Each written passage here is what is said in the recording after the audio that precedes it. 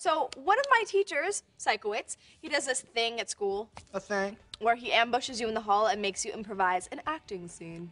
True cheers. And last week he did it to me and Robbie. Want to see? And then he bruised her Because I couldn't take it anymore. Tori! Tori, Robbie, hey! Oh hey, Drive-by acting challenge. No groaning. Now, let's see. Tori, you're a girl shopping at a mall and you've lost your phone.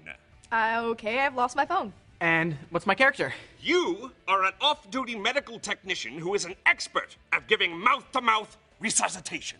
But what does that have to do with? Action! Okay, um, excuse me, sir. Do you work at this mall? Uh, no, I am an off duty medical technician who is an expert at mouth to mouth resuscitation. Okay, well, I, I lost my cell phone. Can you please help me? Sure.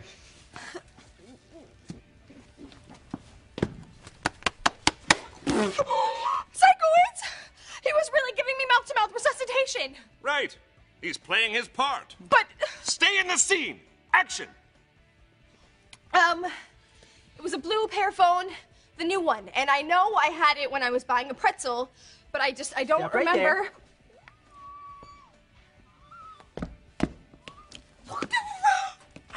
Sir, I think it's great that you are a, uh, An um, off duty medical technician. yeah, yeah, whatever. But I- I'm breathing just fine, so I don't see how giving me mouth to mouth resuscitation is going to help me find my phone.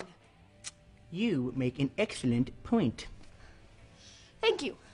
So, do you know if there's a lost and found?